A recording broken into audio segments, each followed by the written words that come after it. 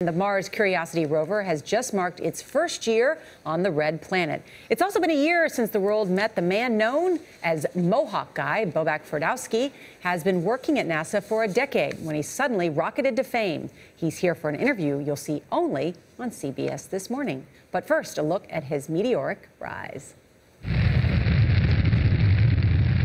This was the scene as members of NASA's Mars exploration program anxiously waited for the rover Curiosity to touch down on the Martian surface.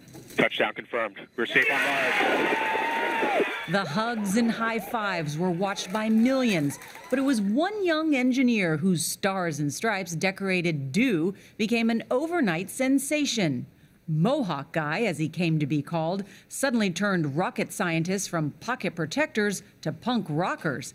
Even President Obama couldn't resist. I, in the past, thought about uh, getting a mohawk myself. But, uh, uh, my, my, my team keeps on discouraging me. Ferdowsi was invited to the president's inaugural parade and was the guest of the first lady at the State of the Union. Mohawk Guy had become the face of a younger, hipper NASA.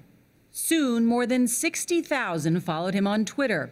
Some even tweeted marriage proposals. His now famous hairdo became the subject of internet memes and starred in videos both silly, a special Mohawk edition of All Star Celebrity Bowling, and sincere. Hi, I'm Bobak Ferdowsi, one of the engineers at NASA's Jet Propulsion Laboratory. Ferdowsi achieved a feat many thought impossible. Mohawk Guy made NASA cool again.